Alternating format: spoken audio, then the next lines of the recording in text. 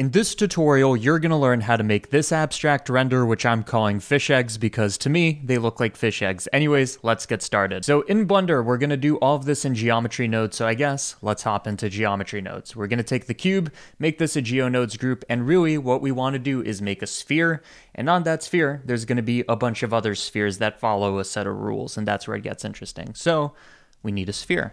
Uh, take the cube and replace it with a UV sphere. So again, this is going to be completely geonodes. You can apply this to any object as a modifier, and it's going to work. I'm going to take our sphere and make it higher res, so it just looks a bit cleaner. And if you want to, you can also make it set shade smooth, so it's shaded smoothly. Next, we need to distribute a bunch of points on our sphere, which will then follow a couple rules. To distribute points, we are going to distribute points on faces. I feel like we're going so fast. I feel that energy. Take that density, bring it up. And, you know, this could be fine uh, for most people, but we're not most people. I want this to be densely distributed, but I don't want points to necessarily overlap on top of each other.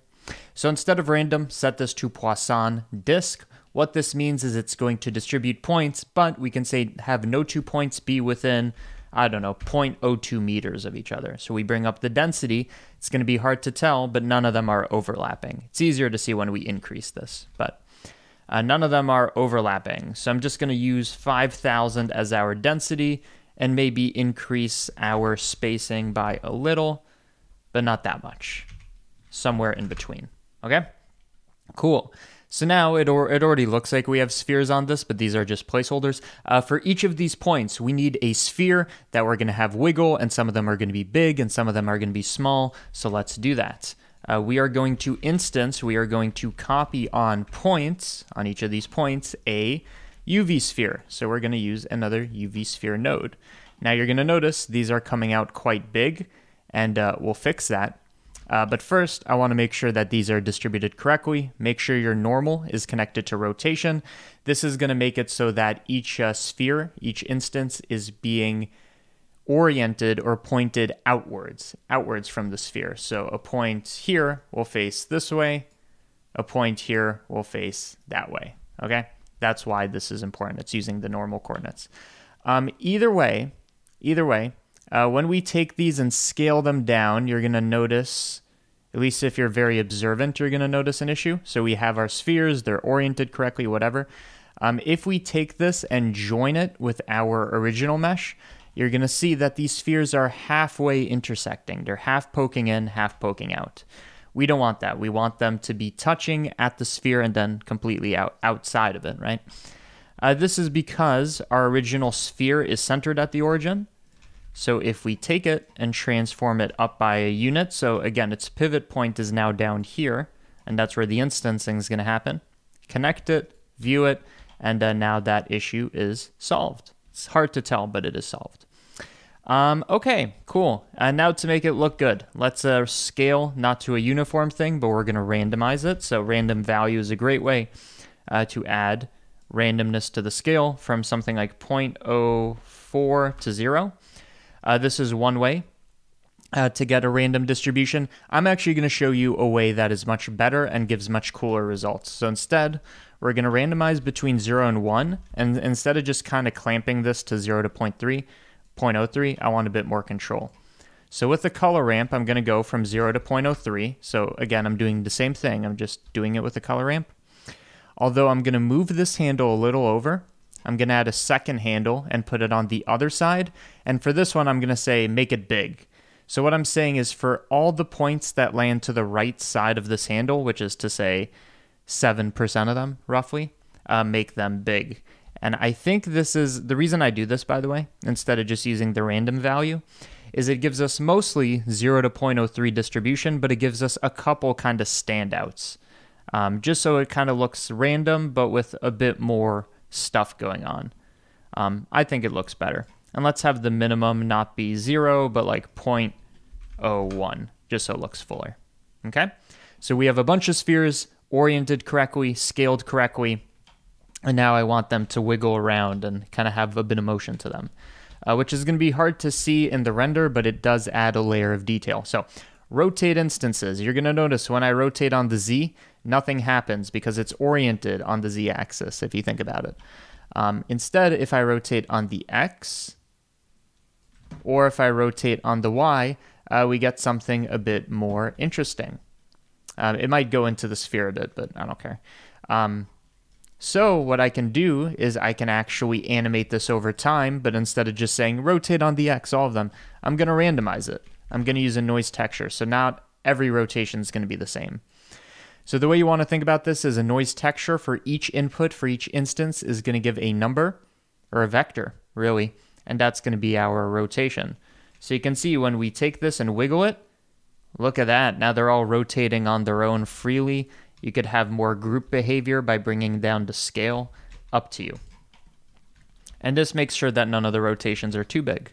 Uh, so the W slider, I'm going to connect it to seconds so that it's animating over time.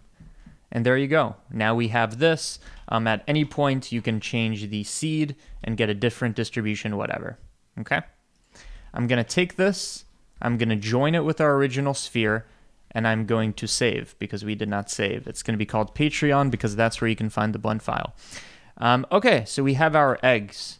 And maybe Maybe I'm going to bring down the spacing just a bit so we have more. Again, we can change this at any time. Uh, next order of business is we could either have that thing where they appear in some places and not in others, or we could do the shading. I'm thinking, mm, I'm thinking we do the thing where it appears in some places and not others, because that's the next uh, interesting thing. So right now they're being spawned everywhere. The trick is if you go to this density factor, which controls the density of the points, uh, you don't have to use the slider. In fact, we can plug in a field, like let's say we were to plug in a, a uh, noise texture. You could see we get variety. Uh, we can exploit this, not in a bad way, but we can use this uh, to get the kind of rotational effect. So here's how I'm going to do that. I'm going to use a geometry proximity node. This is going to give us a distance output. This is what we care about uh, we're going to put in some geometry and say, hey, uh, all these points, how far away are you? That's what this is going to be used for, and then we're going to connect it to the density. Uh, what are we going to use as our mesh? I'm going to use a mesh circle because this is a sphere, and we can have this circle kind of sweep around it in some sense. So I'm going to compare to the circle, and let's just plug this in and see what happens before we do anything. So let's uh, view that. Okay, uh, nothing's happening because right now it's evaluating the distance from faces. There are none, so let's set this to points. You can see what this is doing very, very roughly. It will be easier to see with a color ramp, is it's keeping our distribution.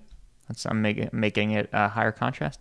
It's keeping our distribution, but it's getting rid of any points along this center circle, again, where this mesh circle is. Again, this is happening because we're evaluating the distance. Near here, the distance is going to be zero the, between points in the circle, they're very close. It's going to be zero, which means make the density zero. Have it not be there. And then, you know, uh, and then as it gets further away, the density goes up. We can also flip it so that it's only in the middle. That's up to you. What I'm thinking though is uh, if we take this and animate it, so for example, I'm going to rotate it, you can see now we have this animated kind of growing thing, and you could rotate it on the y-axis. And you have to imagine the circles rotating, and that's affecting the proximity effect. What I want to do is have this uh, animation be procedural in the sense that I'm going to rotate it on the x-axis relative to time. And you can see um, it, it, it has some work that we need to do, but this is kind of the core essence of the effect. Um, another thing we can do is right now it kind of looks a bit too perfect. Like there's almost right here. There's this perfect band where it doesn't exist. Again, that's because our mesh circle, which is spinning, is kind of a perfect band. I'm thinking let's take that and break it up a bit. Add randomness to it, which will randomize our distance function. So I'm going to set position. Again, all of this is adding layers and layers of randomness. So I'm going to use a noise texture. You can see that uh, that breaks it up a bit. Uh, to get the offset to not happen, I'm not going to explain it here, but just subtract by 0.5. It's going to make sure that on average, well, here I go explaining it. It's going to make sure that on average, uh, with the offset on x, y, and z is 0.5, we're just undoing that by subtracting it. Either way, you can see now we have some randomization. And let's see what that looks like in the uh, network. So I'm going to do this. I'm also going to add a scale slider so we can control this. So when it's zero, this is what we have. Nothing's changed. But as we increase this, we're starting to get some uh, more variety and it's kind of bridging the gaps in some areas. Also, this uh, randomization of the circle can also be randomized. Look at that. So we're just randomizing every layer of the process here. Now, the W slider for this one uh, happens to be pretty sensitive, so I'm going to animate it very slowly. And now you can see it's the same idea. Like you can definitely see the rings, but it's more broken up. Another thing, and this is huge, to get this to look great is instead of just these, um, so it looks good, right? Uh, instead of these spheres just popping up relative to these rules, um, I want them to also scale. Be like, if I'm close to being eliminated, like I'm on this border, I want it to get small, and vice versa. If it's in this clump, it should be much bigger. Uh, we can also do that uh, because we already have a scaling function. Remember, um, where is it?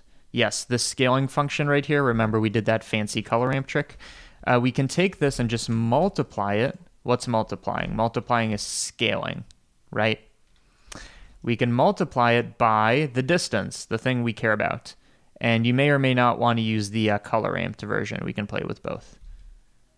Okay, Either way, you can see that uh, we might swap this, but you can see that it's getting bigger and smaller relative to this, so it looks much more organic and much more natural. Let's try the color ramped version. I predict that this version, yeah, th that's actually pretty clean. I like the look of that, so it looks more blobular.